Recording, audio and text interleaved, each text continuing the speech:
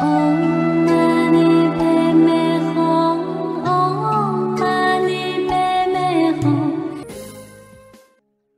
dịch kinh Năm 1995, có cô Ni làm trong ban phiên dịch thuộc một tự viện ở Mỹ Quốc. Cô đến hỏi Quả Lâm, không biết vì sao mấy ngày nay trong người cảm thấy không khỏe. Quả Lâm hỏi, có phải trong phòng chứa nhiều kinh Phật? Đương nhiên rồi, tôi làm công tác phiên dịch kinh mà. Nhưng bình thường cô để kinh rất lộn xộn. Kinh sách nhiều quá nên tôi không chú ý đến.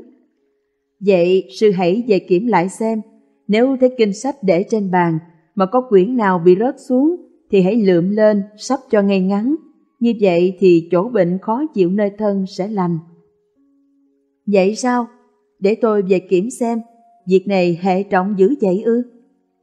Kinh là pháp bảo hiện hữu, giống như có Phật tại đó. Do vậy mà được Thiên Long Bát Bộ hộ vệ. Nên khi có quyển kinh rơi xuống, dù sư không biết, nhưng hiện vẫn có một vị thần hộ pháp đang đứng đó hai tay nâng đỡ mãi. Vị thần này phải ở tại đó suốt mấy ngày nay rồi. Sư rất có lỗi vì đã khiến cho thần hộ pháp không thoải mái.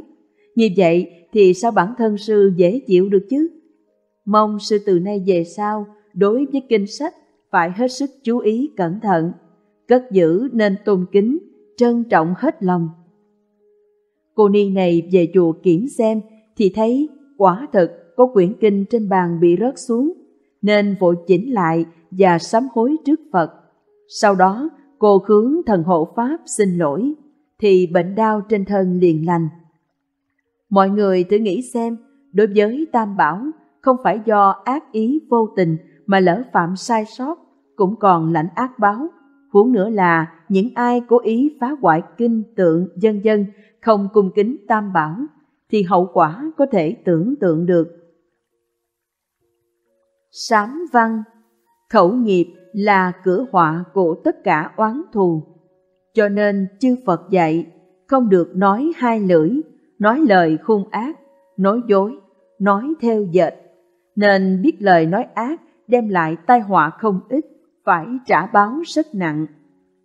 Giải thích Ác báo do ba nghiệp tạo rất kinh khủng. Trong kinh Hiền Ngưu kể có vị trưởng giả sinh ra không có tai, mắt, lưỡi, chân dân là do làm chứng gian, nói dối. Cảnh báo chúng ta hiểu là nghiệp vọng ngữ rất đáng sợ.